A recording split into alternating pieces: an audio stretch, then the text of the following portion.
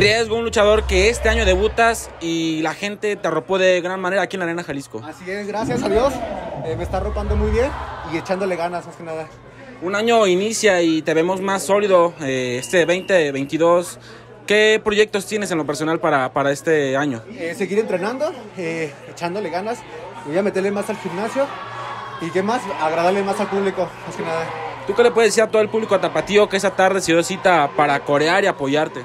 Eh, no, eh, ahorita volteé a ver las caras del público y conocidos que desde tiempo vienen de San Luis a visitarme y doy gracias a ellos que desde allá vienen a visitarme a ver ahora triunfo pues, ahora en el- como profesional. Pues. ¿Cuáles son tus más grandes retos para este año que va iniciando? Eh, bueno, para mí sería como muy pronto decir si es como que máscaras, cabelleras, campeonatos, pero ojalá y me den una oportunidad que no la voy a desaprovechar. Bueno, Riesgo, este, pues sigue demostrando tu talento Tapatío y te seguiremos viendo aquí en la Arena Jalisco. Muy bien, gracias.